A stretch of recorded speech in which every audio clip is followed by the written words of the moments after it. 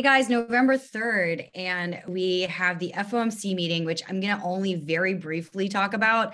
And then I'll do like kind of a full recap of it in an off episode for the weekend or something like that.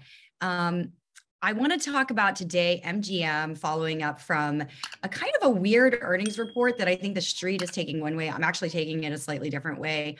I also want to discuss CF industries, which man, I'm really, really frustrated with the analysts sometimes because and it's actually echoed by the CEOs of the companies, of course, especially when they do the quarters that they do and they end up with opening up the screen this morning in the red.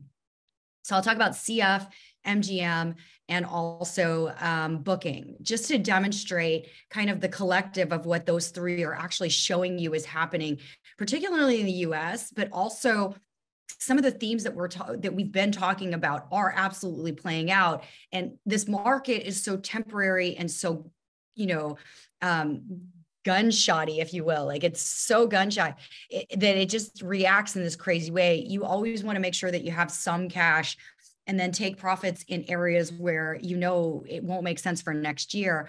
Let's go ahead and share the screen. Past performance it's not indicative of future returns. As per usual we'll go through what typically um, what we typically do, which is just to review the markets. And if you look at this, the indices started out so red and have more or less recovered flat. If you're a member of gurula.net, you would have gotten a signal um, that to buy the S&P because it really did hit exactly right on the nose David's um, algo signal that the S&P was oversold. And really when you look at earnings this season, you can tell that there is just I don't know if it's sector if it's rotation out of equities into cash for the year end or what, but this market is so weird. Oil and gas below 90 right now is kind of interesting, but nonetheless that is what it is when we go to FinViz, you can kind of see that pretty much everything is recovered except for big cap tech, which continues to be in the red. Tesla um, gave you an opportunity. This morning, you had an opportunity in so many things. It's not even funny. And I would continue to encourage you to take it because when I look at the earnings as I'm seeing them, way more companies are coming in with still having top line growth and bottom line growth. That's despite the fact that you do have to kind of like rumple through the numbers because a lot of them are taking charges knowing that this year is kind of over and they'd rather start the next year with a better slate of accounting. So we're seeing we're seeing like you really you can't just read these numbers and then not go fully through the releases, or in some cases, you really do have to go through the K because given all the notes that are in there, you're going to get it wrong. You're going to actually get it wrong, for lack of a better way. And you sure cannot go through the headlines right now because it's almost as if they have the world's youngest analyst working in the evenings, just publishing whatever. It is so crazy what actually I'm seeing in the releases and then listening subsequently to the call just in case I might have gotten it wrong. And what I'm seeing in the news items as headlines or otherwise, it's actually kind of ridiculous. But let's go through it. These three are wonderful examples of why I feel the way that I do on that. So let me share my screen once again. Um, okay, let's first talk about earnings. Booking, I'm only going to go briefly through, but booking was so strong this quarter. It, it's not even funny eBay and Etsy, I need to do a separate episode on because eBay came out with its release that it did better than expected. It was not a good quarter. So, like, literally, that's why I'm saying it's some junior analyst writing whatever's in the release, desperately trying to pull headlines because that kind of quarter should not get you up 3%. At one point, it was up like 5% or 6%. It's ridiculous. Etsy, actually, there's a lot of stuff in that number. So I'm going to need until tomorrow to really come back to you guys. And MGM, I don't know who's doing analysts analysis on these things anymore because some of the things that they pulled were important, but they're not the MGM story in any way, shape, or form. But what all of Booking, MGM, Hilton from last week tell you is that Marriott and Expedia should actually do okay, better than okay. CF, sorry, I have that on the wrong day. CF reported this morning, had their call this morning, and that is the most ridiculous reaction I've ever seen to a company that is crushing it the only other thing that I saw that's as ridiculous is Devon from yesterday, but we know how this market works. So, you know, buying opportunities all around. Now, let's actually talk about MGM and why I think that the news flow is ridiculous. Okay. Here's MGM up 26%. Does this look like a massively negative number on net income? Yeah, it does until you actually go through and look at what that number is. Okay. There was a gain on the consolidation of City Center last quarter. And then there was D&A of 1.4 million. Why was there D&A of that? That's because they sold Mirage and they bought two other properties. And by the way, they sold Mirage at 16 times EBITDA. The two properties they bought, Aria and Cosmopolitan, they bought at five times EBITDA. Okay. So this is the story of MGM is this massive turnaround of, of properties on the strip toward greater profitability. And they do have, as a result of that, the strongest balance sheet of any of the casinos that are out there. Okay. So there's that. Once you do all the rejiggering of the numbers, you do end up with um, actually a pretty decent quarter because when you add that back in and then remove the benefit of the city center, you end up with this number where you really are, if to get it apples to apples, you have an like an up 2%, which isn't much until you realize all of the turnaround that they've been doing. This was a record year on room on rooms, right? And this casino number, it has none of China in it. So the story has been the entire time with MGM trading at five times um, earnings. But then let me show you EBITDA. The whole story is if China picks back up, it will flood the casinos with back with its original customer base, which really is the Chinese customer base. Let me show you what happened in China. Okay. In China, this is the only headline they picked up. They picked up that there was some greater fee in China. And yeah, it was bad, but it wasn't like so unexpected, I'm going to say. The real Okay, China is still running at 72%, like down 70. So it's only 30% of, of what the casino revenue was in 2021. And that's been this entire time because of lockdowns. They did talk about that on the call, and they're doing what they call dynamic zero COVID policy right now, which is they're already starting to open up Macau to China, but there's various rules and regulations related to what happens if they find someone with COVID and what are they going to do to quarantine, et cetera. So the, the data point that we needed, which was China is going to start to open up Macau, happened on the call. So this is what it means to the numbers. First of all, um, this is this is 2021 where they were still closing down China. Remember, China had a weird delay of things as relates to Macau because of because of a lot of different reasons. But they were like, nobody from the West is coming, but we will kind of do this one set of things. And you can see that um, this is what it looked like. So revenue was down a lot, EBITDA was down a lot, but this is the last quarter of it. So it's crazy to think about it that way. Um, if if it actually goes back to 2019 numbers, which will take time, but we're kind of coming around the corner, that means that China not only helps with Macau, but it helps with the other regional properties in the greater China region. So it's a little bit crazy for it to be so aggressive given what they talked about on the call. And also, by the way, all the other businesses are for the most part doing okay.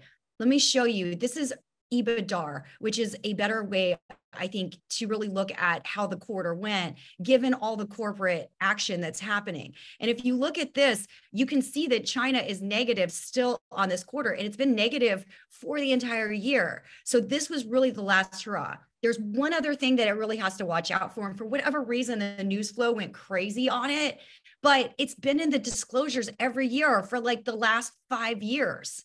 So it's kind of nuts. And it's just a renegotiation of the licensing with Macau. Let's be really crystal clear. China's not going to want to run these um, casinos by themselves. What happens for all the casinos is they get a license from the, the Macau government. There's different sorts of things that they have, metrics that they have to hit. They hire a bunch of locals in, you know, that are a part of that whole package deal. And then we move on. And these deals are done usually a 10 year time frame 20 year time frame i think was the original. That was when china was in a different place. Now china's in a different place so they're going to keep the leases ever so slightly shorter. But just to show you right now there's no ebitda coming from china. As soon as that flips this number that is not 2019's number by the way okay so these these casinos in china can be wildly profitable if you if you sum up this column though las vegas was so profitable that it carried even the little baby blip that you saw in the regional operations now this doesn't include the sports betting that they purchased. That thing is really small right now. It will become bigger. Right now, throughout the United States and other places, they are working not just MGM, but you know, Las Vegas Sands has its own. Everybody has their own sports betting um, or uh, digital betting kind of platform. So that eventually will be something very interesting. Not not relevant to the numbers currently, so to speak, but probably a big deal in the future, given how profitable some of those companies have been, even in small cap land. The thing I would mention though is when you sum this column up, you still have EBITDA up 22%. So it, it wasn't a bad quarter, for lack of a better way to describe it. And if anything, the fact that Las Vegas has almost fully recovered at this point is crazy, crazy positive. The regional operations, by the way, there's some licensing that they may get in New York. So that could be another data point of positive for them. Obviously, there's licensing happening in a couple of other states because guess what?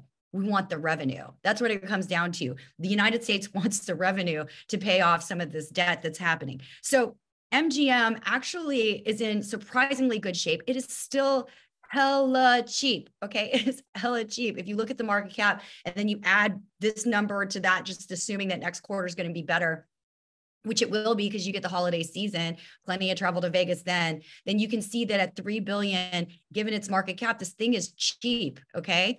All right. Now let's talk about CF Industries. Let me just explain this to you. This company does not give guidance. So the nonsensical street number, which I always want to barf every time I see the earnings, the, the news flow that comes out of it.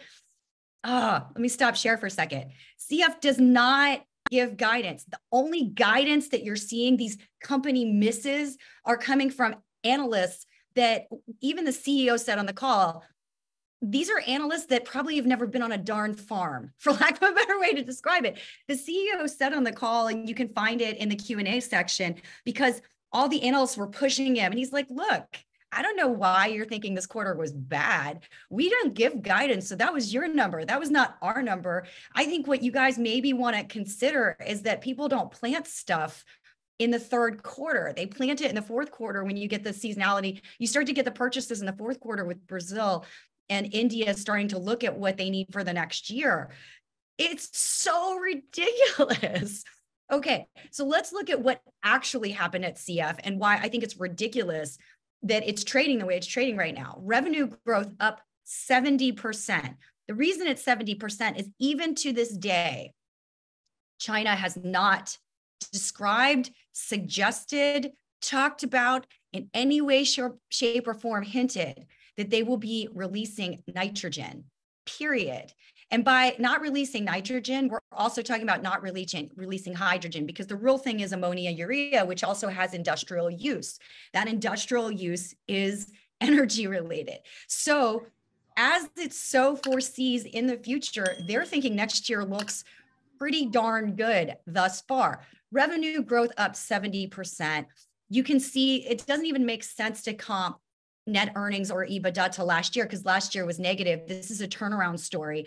It's crazy positive now, and all they're doing is paying back debt and buying back shares. And if you look at how much they've just started on the buyback, it's ridiculous. I'll show that in the next slide. Oh, yeah, here we go. So they already bought back 14 million shares. Okay. That's like a big number. That's 7% of the stock. And they're going to keep going because they're minting cash right now. It's ridiculous. They had a hundred. What's that? Are you recording? I, oh, shoot. Am I not recording any of this? I thought I was recording. Yeah. yeah. Okay, good. Hold on. Let's just make sure.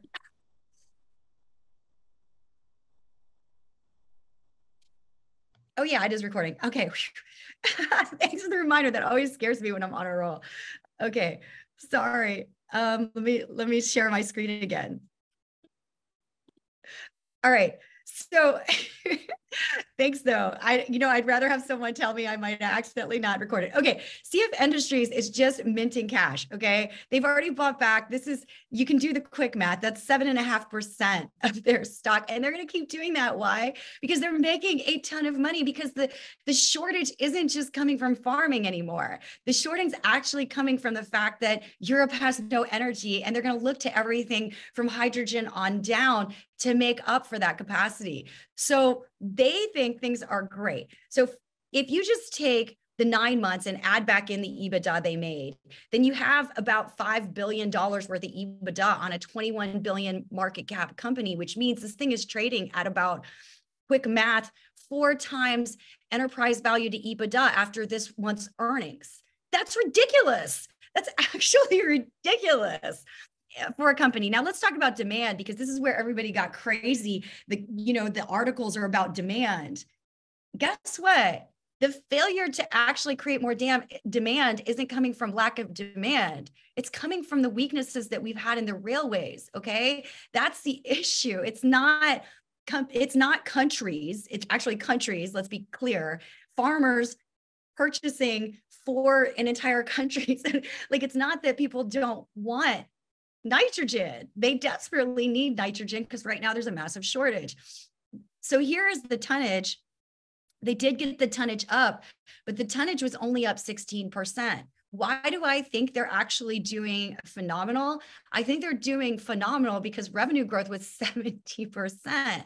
So, you know, all of this nonsense articles, all of these nonsense estimates there that's just what it is. And i think the ceo as politely as he possibly could when he was pushed by these analysts was like hey is it possible that you don't understand the seasonality of farming?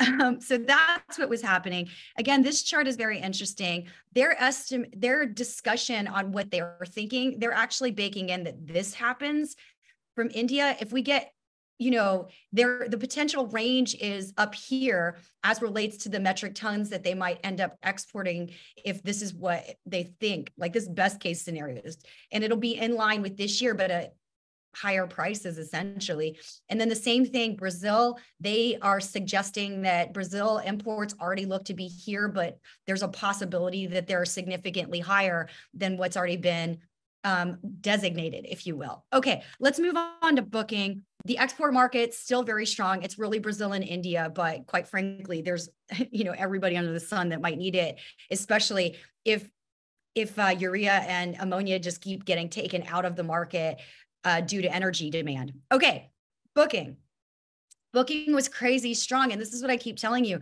Other than the cruise liners which still have kind of a funkiness that they have to work through travel is really strong really strong. And we've got expedia and we've got uh, marriott reporting tonight We've got revenue up 29%, net income up 116%. That's just economy of scale. And by the way, Expedia, having fixed so much of its technology during the COVID period, also should, we're hoping for a knock on wood, get economy of scale.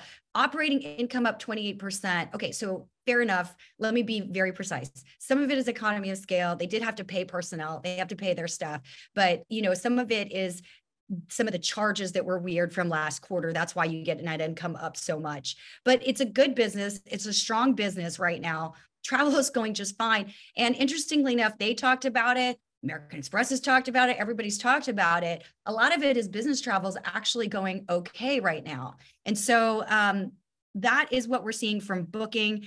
I'm going to go ahead and hit the stop share button, but there is just so much going on right now. Um, what an exciting earnings season. I think people are struggling to digest the news flow that has come out and what it implies for the macro. hey, David. Um, MGM, I mean, that uh, it's been as high as 100. Yeah, it's cheap. That's the thing. Like this flip on China should already be baked in. It's ridiculous. Yeah, well, I mean, money management is a quarterly game, so that's why. Yeah. Um, I mean, if you get any kind of news flow or announcement on China, this thing is going to bullet train upwards because there's no reason it should be at the valuation it's currently at. Right, right. Um, also, Prop 27 is on the ballot for, in California. Yeah. fourth largest con- economy in the world. Yeah. So, um, yeah. I mean, what gambling you is about New York? There's yeah, licensing. it- yeah, I have to double check because I, I've, I don't want to get the, the citation wrong, but it's the New York, New Jersey. This area is also doing some attempt to fundraise via casinos. I mean, look, the thing that's crazy about casinos is it's only because of COVID that these guys aren't doing great. If you go back to every single crisis economically that we've had, casinos have always been acting like a consumer staple, quite frankly. People gamble in bad times and in good times, right. but they really gamble in bad times, strangely enough. Now the the China, I'm I'm assuming they then the Macau they don't have sports sports book, right? It's not as big. I mean, they'll have, they might um, ha- look, they have all kinds of betting. so if it exists, they will bet on it in China. They, it's not the the the layouts of the casinos are a little bit different because um, the Chinese are full on gamblers, but they'll bet on stuff like NASCAR and stuff like that. World Cup. Okay. Um, CF Industries it traded down to 95. Was that on earnings? Ridiculous. Yeah, they trade on earnings because in theory it missed estimates. And now I'm pretty sure that whoever's making those estimates is someone that has no idea the industry at all. Like that's that's the only thing I can think of.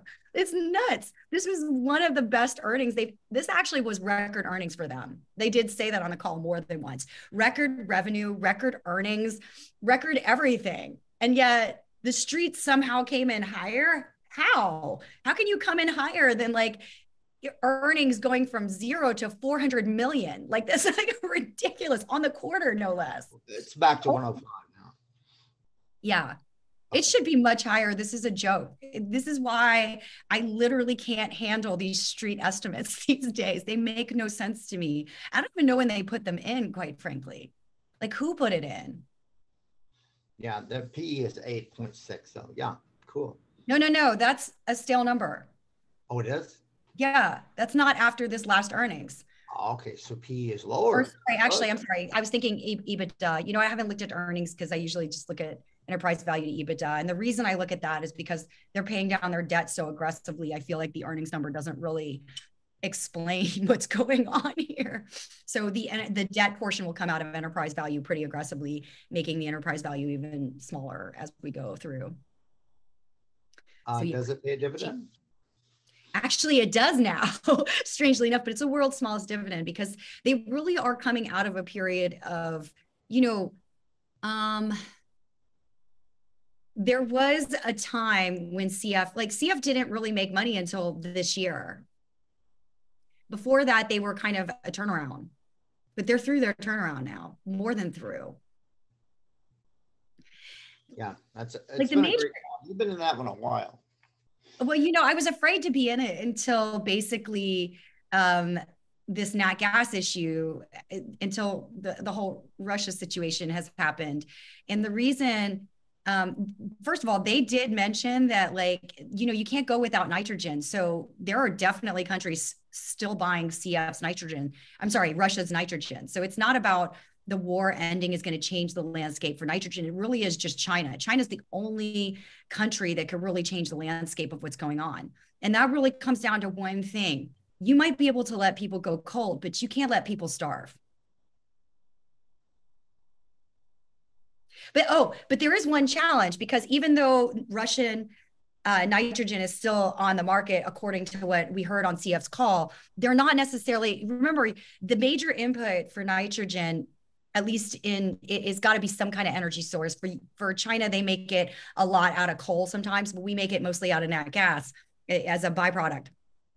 And so what they did say is that there you're not getting more nitrogen coming onto the system because as much as like people still might be buying whatever's coming out of Russia Russia's kind of redirected some of its efforts so to speak to other things other priorities if you will.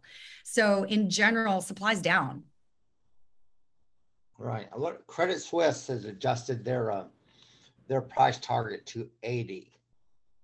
I on CF I wonder why. Underperformed. CS Credit Credit Suisse on CF, right? God. Weird. I don't understand what these people are seeing. Maybe they're just, I don't know. Maybe people are smarter than me. I don't know. I'm willing No, to go no, with it. I'm saying, I'm saying that might be a reason it was down earlier. yeah, no, everybody came out really negative on CF this morning. And I have no idea why. I just don't understand what they're seeing or how they're thinking about it. We have a food shortage. Nitrogen is required if you want actual food to be created. Nitrogen has been the only thing that has allowed this planet to feed this and, grow its population. I don't understand. I, I just don't understand. I mean, do they think China's going to come out and dump a bunch of nitrogen onto the, the market? There would there's no evidence of that thus far. And if they do, that's hella bullish for MGM because if China's opening up, then cool. That will really help MGM. So it's just, I don't know. I feel like maybe, I, I don't know. Well, maybe you're right and they're wrong. So there you go. Again, Yeah. I mean, I could see a world where China opens up and they still keep their nitrogen. And I think the reason they keep their nitrogen is because for the last like two years, all first of all, China wants to grow its population. That's why it stopped, you know, one child policy in a big way. And and it's got to feed its population. So, you know, but that said, there is excess capacity for nitrogen in China. That's always been the case. I don't know. I just I don't see it. I don't see it. okay, cool. Very nice. Okay. May, thank you. And we right. will talk to you soon. All right. Good luck in these markets. It is flu season, so everybody stay healthy. Bye, guys.